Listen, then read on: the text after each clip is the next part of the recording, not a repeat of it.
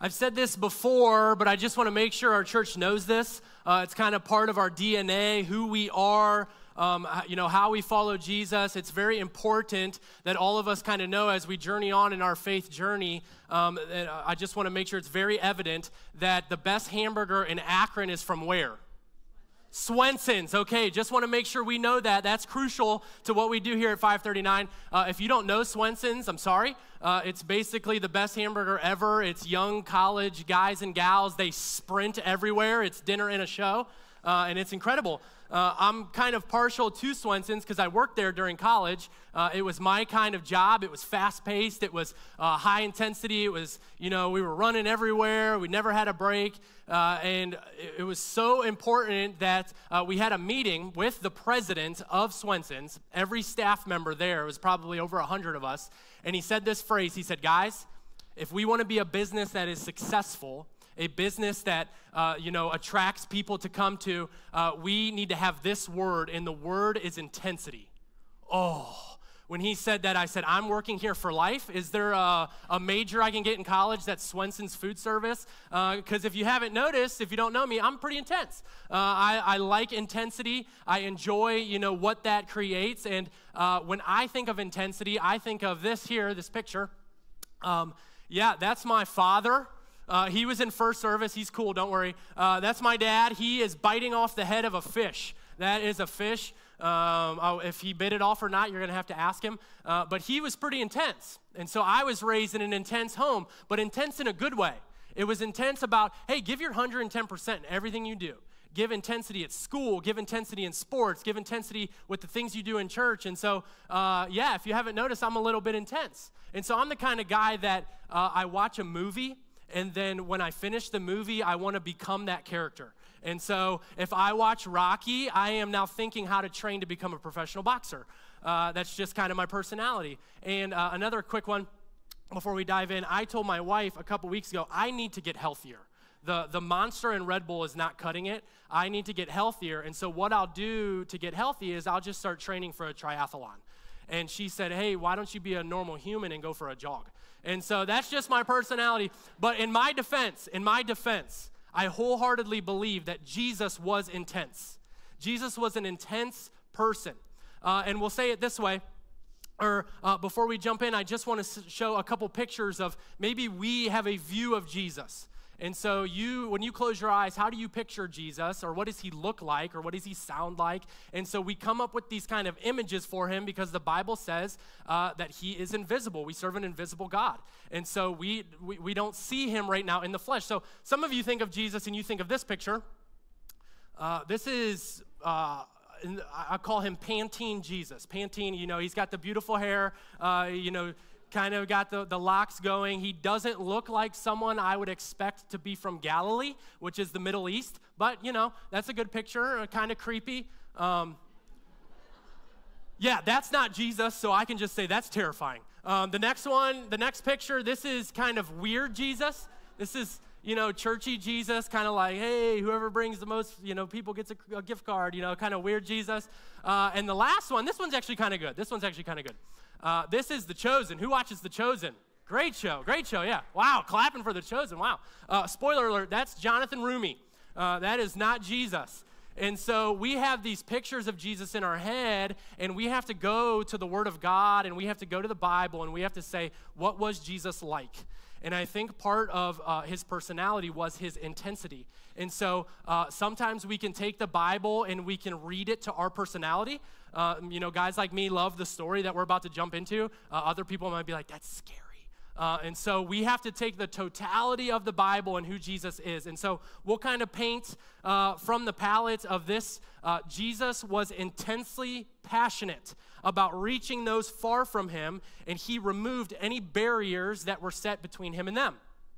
So, we're really going to have three things we're going to talk about, and it's all going to be centered around this idea of barriers. And so, the first uh, thing we're going to talk about, uh, just to kind of show you where we're going, uh, is the way that Jesus responded to barriers. And what I, when I say barrier, I'm talking about something that is in between a person and Jesus, something that gets in the way. So we're going to talk about how Jesus responds to those. Then we're going to talk about how we put up barriers and maybe some things that we do to, to guard people from getting to Jesus. And the last is we'll talk about removing barriers and what that looks like. So if you have a Bible, let's jump into John chapter 2. We're going to be in John chapter 2, or you can read it from the Sky Bible. Number one, how Jesus responded to barriers. Verse 13 in chapter 2. The Passover of the Jews was at hand, and Jesus went up to Jerusalem. In the temple, he found those who were selling oxen and sheep and pigeons, and the money changers sitting there. And making a whip of cords, he drove them all out of the temple with the sheep and the oxen. And he poured out the coins of the money changers and overturned their tables. And he told those who sold the pigeons, Take these things away. Do not make my father's house a house of trade. His disciples said that it was written, Zeal for your house will consume me. That story's crazy. I don't know if you guys are picking it up. Uh, it's kind of easy to just read it and be like, oh, yeah, he, he made a whip. Jesus had a whip. Uh, I don't know what he made it up, cords. I don't know what that is, but he, has got a whip. He's flipping tables. I would throw this table. I don't want to hit Gavin. Uh, he's throwing tables. He's taking jars of money, dumping them out. Uh, he's quoting Old Testament scripture. He's, you know, he's just losing it. He's very, very angry, intensely angry. And so when I read this, I have to ask the question, why? Why is Jesus so angry? I mean, he comes in and just starts flipping tables. Why? And so, three things really from this passage, I think, what makes Jesus angry? What makes Jesus angry? Number one, when they add weight heavier than God does. So the Old Testament system is basically they're coming to the temple. Um, it's big. It's big in there. There's not like 10 of them, there's probably hundreds. Uh, and basically, they would bring a sheep an ox, a dove, a pigeon. Uh, they would bring these animals to the temple. They would kill them, uh, and that would make them right with God. You can find this system in the Old Testament in the book of Leviticus. And so there's a system in place. In order for you to connect with God, these are the few things that you need to do. And so, what these people, the money changers in the temple, were doing, why Jesus was so mad, uh, was because they were adding weight to that system that was already kind of difficult. And so, what they were doing was uh, they were having the ox and the sheep and the pigeons sold in the temple. They made the temple their own marketplace for profit. So, if you bought a sheep down the street, or you brought, or you raised your own sheep, or you know your buddy had a sheep and you brought it into the temple, they would go, "Nope, not clean enough. You got to buy our sheep. You got to buy our sheep." And so there's probably some business principle there. I don't know business. I'm more of a science guy. Uh, but basically, they were making a profit off of you can only buy from us. You have to buy our sheep. And so, what they were doing was they were adding weight to this system that was already difficult as it was. The second thing that they were doing is they made worship difficult. The goal of the temple was for people to connect with God. That's what they were there for. They wanted to experience God. And so worship doesn't mean singing, it means to give worth to, to give attention to, to give your focus to, to give your time to. Uh, and so they were going there to worship, to connect with God. And the tables of all this marketplace going on, they were literally in the way in the temple. It was probably one of those things. And they were metaphorically in the way of the focus had now not become on God. God had become second tier to what was going on here. So I just love to think about some of the things we do at church. I mean, not even 539, just churches in general. It's like we put the words on the screen for songs. We have nicer chairs. Um, this, you know, this is elevated not because I'm so short, but because just so people can see, you know, what's going on. There's no holiness up here on the stage. Uh, and so we want to make it easier for people to worship because I despair at the thought of ever being a church where Jesus or God has become not the focus. And so, all the little things that churches do the coffee, the hospitality, the things it's so people can see Jesus. They were making worship difficult in this temple. The last thing of what makes Jesus angry is when people stood between God and them. Uh, them is in quotations here because uh, in another passage in the book of Mark, this same exact story is told. And Jesus says this phrase He says, The temple was supposed to be a house of prayer for all nations. In the book of Isaiah, it says that Israel would be a city on a hill, a light to all nations, to all people. And so, them, they weren't allowed in. Them weren't allowed in. Uh, and we'll kind of get to that in a little bit, talking about them and we and us. Uh, but basically, uh, the Jewish people were in the temple and they were making it impossible for someone who wasn't Jewish to come into the temple and to connect with God. Hey, if you weren't on our team, if you didn't roll our way, if you didn't know the way that we do things, you're not welcome here. That's what they were saying. They were standing between God and them. And Jesus was trying to show hey, this is for all people, this is for all nations, all types of people. And so uh, I think what Jesus is doing is he's so angry and he's, he, he's so intense, but it, it, it, you know, it brings up this phrase, righteous anger. Raise your hand if you ever heard that word, righteous anger. Uh, that's a churchy word. Uh, righteous anger is, you know, I think it's kind of a cop out phrase. We can use it like in our defense. Uh, and so basically, if somebody's being a moron, uh, we can get mad at them and we could be like, it's righteous. They deserve it. They're dumb. Like, it's kind of this righteous anger of if somebody cuts you off in the road, there's some righteous anger that will follow that, right? Uh, that's why I don't have a 539 bumper sticker. Uh, but, but yeah, it's, it, it's, you know, if someone cuts you off, it's that vengeful kind of revenge, get what you deserve type of anger, right? Not what Jesus is showing here. He is not showing any type of revenge, any type of, hey, they did this, so I'll do this back to them. That's not what righteous anger is. So, a couple verses just about anger in Ephesians 4.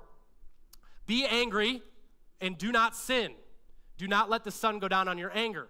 So we see here that anger in and of itself is not a sin, okay? And in James 1, it kind of gives the disclaimer Know this, my beloved brothers, let every person be quick to hear, slow to speak, slow to anger. For the anger of man does not produce the righteousness of God.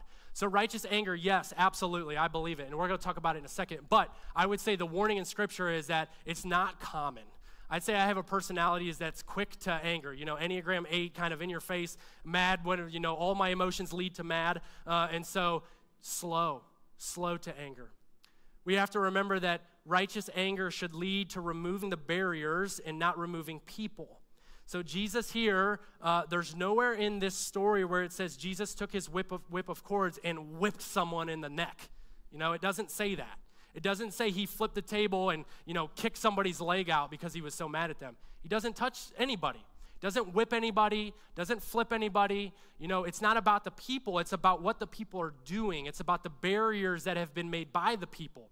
But Jesus is not mad at the people, but about what they're doing. And so we have to remember that Jesus, in this story, he flipped tables, but he didn't flip any people, didn't flip people at them. So it's so quick for us to just be mad about people we're, we're angry at people because they're mad at people and we want to use people to get to people to reach people and it just it doesn't make sense. Our default is to get mad at a person and not so much at what they're doing or what's being done. Uh, jesus' anger is always a result of his capacity to love. And so Jesus isn't angry at the people, but he's so angry because he wants the people to connect with him so bad.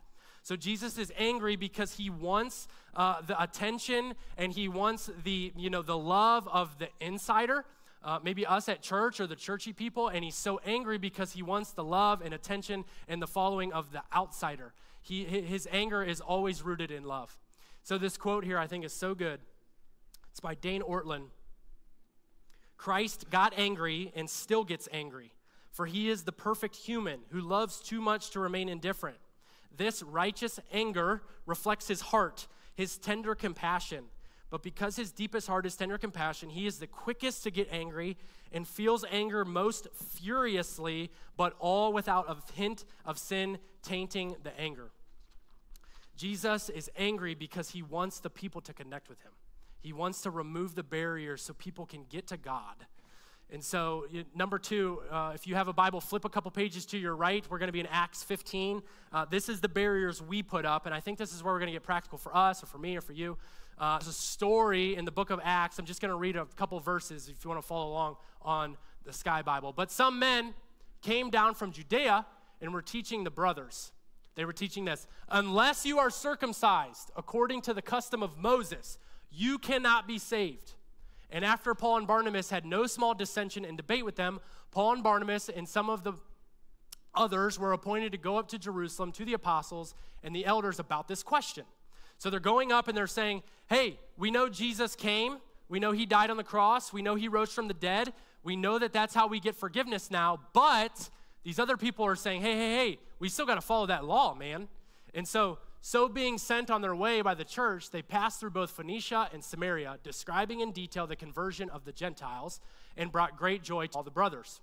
When they came to Jerusalem, they were welcomed by the church and the apostles and the elders. They declared all that God had done with them, but some believers who belonged to the party of the Pharisees rose up and said, It is necessary to circumcise them and to order them to keep the law of Moses. Uh, if you don't know what circumcision is, ask Pastor Gavin, he will tell you, uh, but we'll kind of just move past that.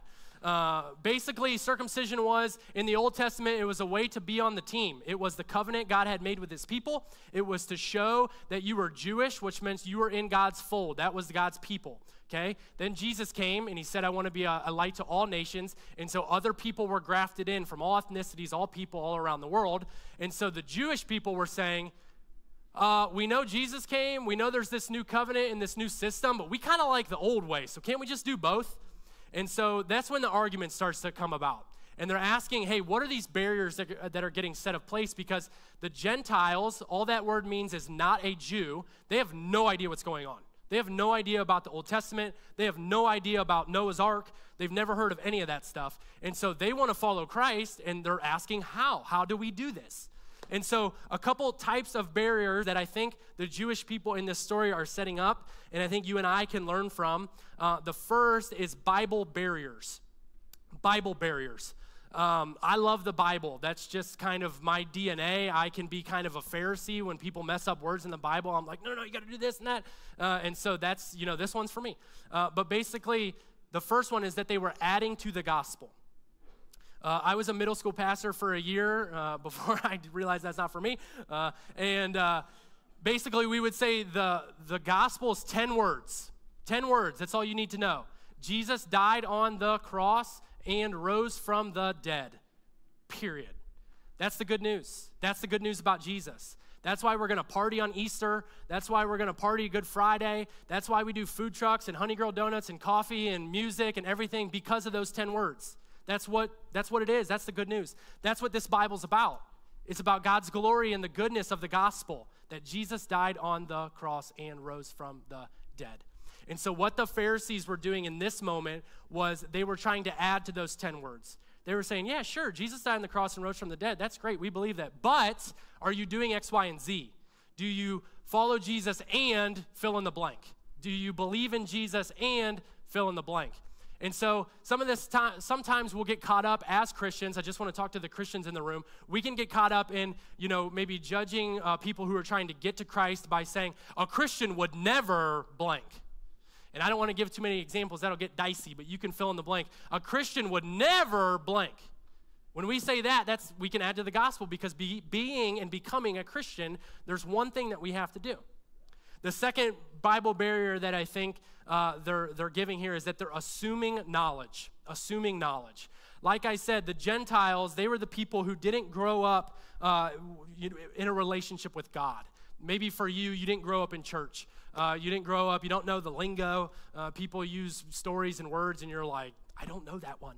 Uh, I was actually playing a Bible trivia game with my wife and her parents, uh, and I got smoked and my in-laws were like hey i thought you like went to bible school and stuff. And i was like yeah my old testament's rusty. I'm sorry. Uh, and so they were assuming knowledge. They were making it seem hey you can't follow us unless you know all the stuff. You can't follow jesus until you learn all the things. And the gentiles are like man we just want to follow jesus. We don't we don't know about jonah and the whale. We never heard that story. And so they were assuming knowledge. They were saying hey, you can't be on our team until you learn X, Y, and Z. Why don't you go to pre Christian school, get your pre Christian degree, and then you can be on the team? That's not, that's not what Jesus says. So we have to remember there is only one thing required to be saved. One thing. We'll get to that in a minute. The second type of barrier is traditional barriers. Traditional barriers. Um, I'm not going to say too much. I know we all come from different church backgrounds and different things. I love you. You love me. We're good. Uh, but basically, uh, the first thing I'll say is this phrase. This is a dangerous phrase. Uh, we've always done it this way. We've always done it this way. I know that in a room this size with this many people, there are preferences. I have preferences. Uh, Pastor Mike has preferences. You know, Gavin has preferences. You have preferences. I just want to applaud so far, I would say a year and a half in our church, that we have set those aside because we care about the gospel and we care about people far from Him. And so if you're coming and you're like, not really my flavor, not really my taste of music, not really my taste of a sermon, uh, but you've stayed because you want to reach those far from Christ, I think that is just the most humble, uh, Christ looking thing that I've been a part of in a long time. And I just want to say thank you for that. But this can get dangerous when we say we've always done it this way. Uh, we've always done music this way. We've always done Easter this way. We've always done community groups this way. And we're not changing because that's what we do. Um, that's what the Jewish people were doing in this story. They're saying the Gentiles, if they come, they're going to ruin our system. We have a good system going. God gave us this system, it's solid. We don't want those fools to ruin our system. We love this system. So they were saying, hey, we've always done it this way. We don't want anybody to change it. The second traditional barrier they put up is this phrase they aren't on our team. They're just not on our team, man. We have a team. Uh, a pastor I know, he calls it the Holy Huddle. The Holy Huddle is the squad. Uh, 830 did not know what squad meant. The squad, uh, you know, the homies, this is who we are. We don't want anybody, uh, you know, coming into our circle. The prophet Drake said, no new friends. Uh, and so we want to keep our circle and we don't want anybody joining our team. That might sound mean, but that can happen so quickly. We can turn into a church where we say, hey, not them. Eh, not them. You know, we can start to make our lists of these are the people who are in, these are the people who are out. You got to be like us, you got to wear our jersey, you got to look like us, you got to talk like us, you got to sound like us, and they're not on our team. The Jewish people in Acts 15, they were saying the Gentiles, yeah, they're great. Maybe God can save them somewhere down the road, but they're, they don't look like us. They're, they stink. You know, they don't, they don't, they're not on our team. The last traditional barrier is they were raising the bar. They were raising the bar. Um, I think that this is just human nature that when we experience something in life, when we move uh, further in life and we look back, we want to make sure we romanticize the past and kind of make it harder for those. And so you guys all know the phrase of like, I used to walk uphill both ways to school, and now you little suckers get escorted by your mom and Uber. And it's like, you know, stuff like that, where it's like, oh, when I started this job, I had a, a year of training before I got that perk, and you got it in the third week. Like, we look back and we say, like, we don't want it to be as easy as it was for us. And so they're raising the bar with the gospel and with following Jesus. Hey, when we got saved, when we started following Jesus, it was the same as it is now. It was free grace, free, free forgiveness. All you had to do was say, Hey, I believe in the name Jesus Christ. And Jesus said, Yeah, that's all you need, man. You're in. But when we look back, we'd say, Hey, you know, it's, it's easy and Jesus offers forgiveness and the cross and all that, but like, mm, you know, you, you got some work to do. Why don't you think about it? And so our community group, we were talking about this the other night. Shout out George if you're around. Uh, but basically, uh, who plays who played baseball or likes baseball? Got any baseball? Where are my baseball people at? America's pastime. Come on. Uh, third base coach, right? The third base coach is someone who stands where? Third base. Yeah, you guys are smart. Uh, third base, and basically he does two things. He has two signals. When somebody comes around second, you know, the guy's trucking, he's not looking at where the ball is. He's looking right in the eyes of the third base coach. And the third base has two signals. He's doing this go home, or he's doing this stop, get down, slide. And so when people are trying to get to Christ or to get to Jesus, get to God, connect with God, are we the type of people that are like, yeah, man, yeah, you too. Absolutely, bring your cousin. Yeah, they can come. Oh, yeah, sure. Absolutely. Or do we go like this, whoa, whoa, whoa, whoa, whoa, chief, you better think about it. Like, I don't know if you should wear that. I don't know if you should say that. I don't know if you should look like that. Are we this guy? Just food for thought. I have to ask the question what are the barriers that we put in place? What are the barriers that I put in place? What are the things where I say, hey, if Jesus is here, I want to stand between him? What do I do that causes that? What do we do that causes that?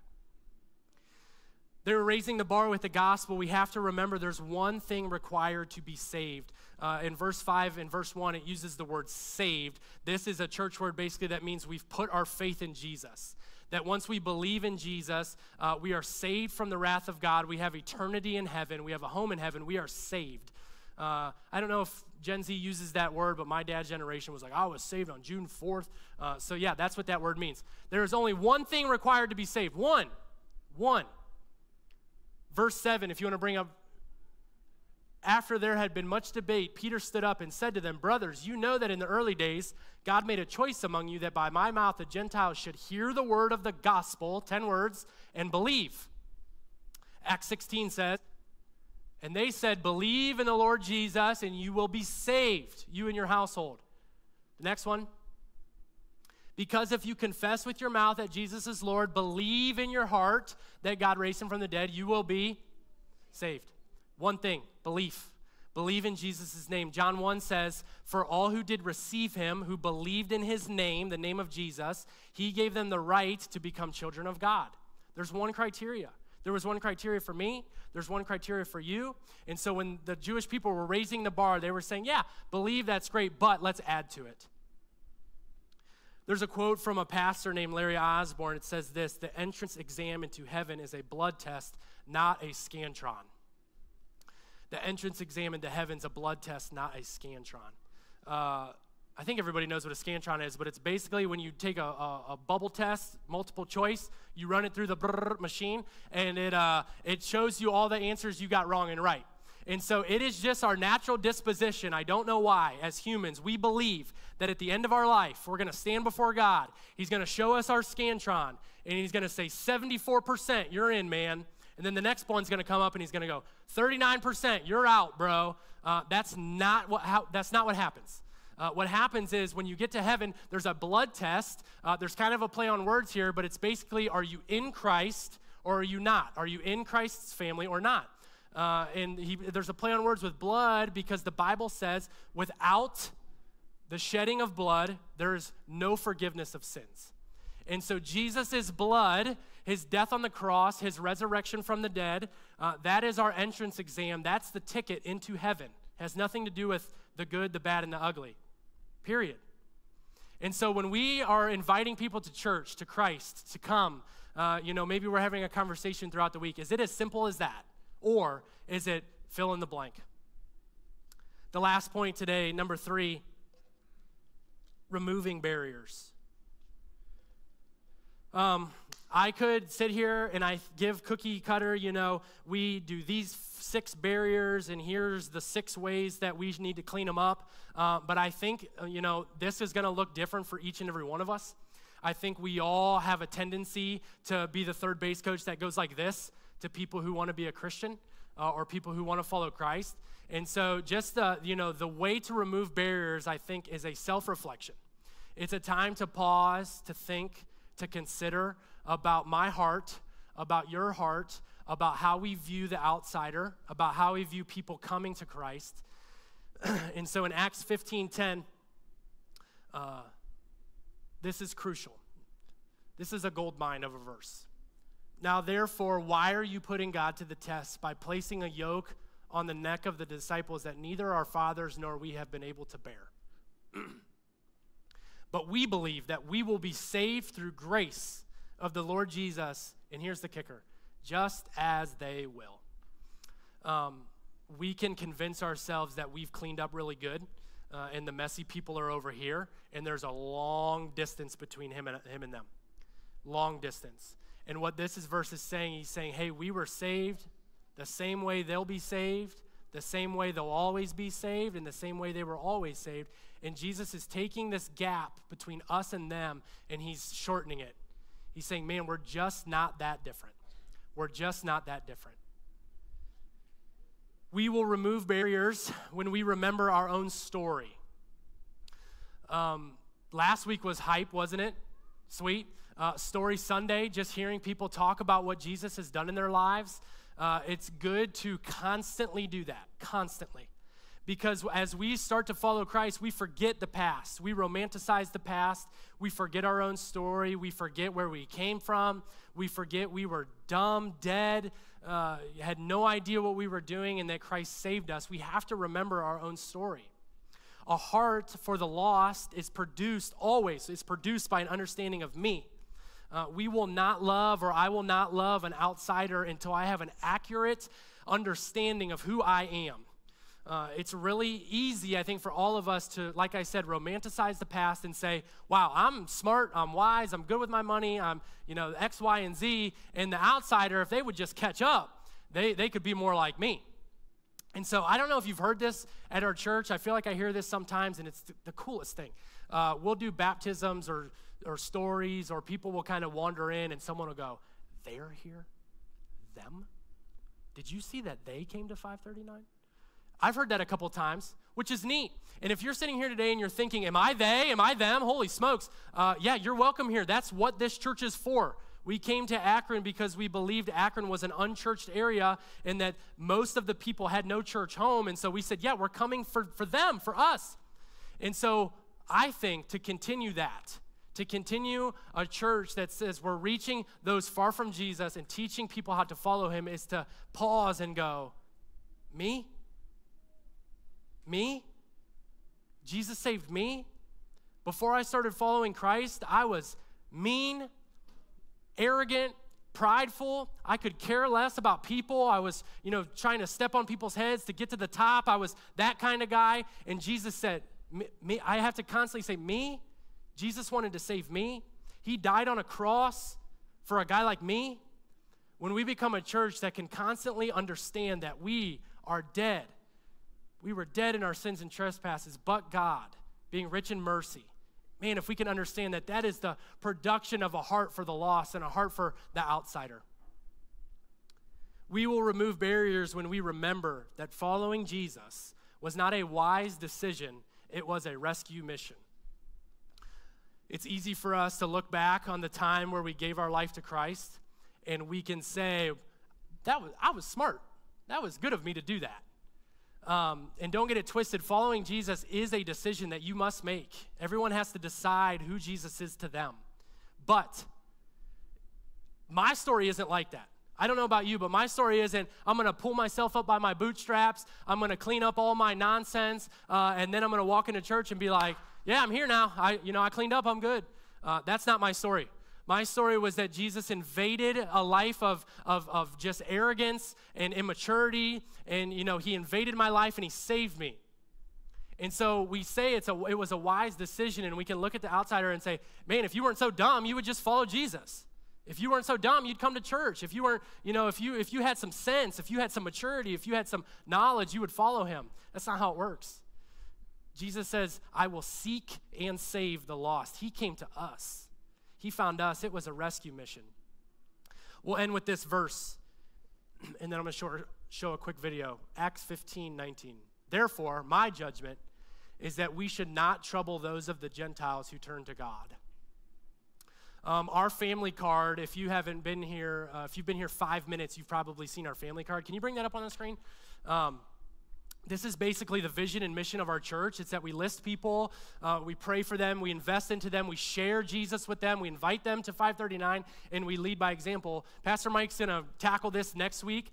Uh, but basically, this is how we view what our mission is as a church that we want to seek and save the lost, just like Jesus. However, there is going to be times where Jesus just brings people to us because he doesn't need our help. He doesn't need our help. He doesn't need us to preach really good sermons or do really good music. He's going to bring people, and all we have to do is witness and say, Yes, Jesus saves. This is how you follow Jesus. So he's going to bring to us, go back to verse 19. So we have to decide are we going to do this? My judgment is that we should not trouble those of the Gentiles who turn to God. Are we going to be this? Or are we going to be this? Are we going to trouble people who turn to God, or are we going to remove barriers, get that junk out of the way? And say, man, here's Jesus. It's simple. Let's watch this video and just consider what it would look like if our church did this to those who are seeking Christ.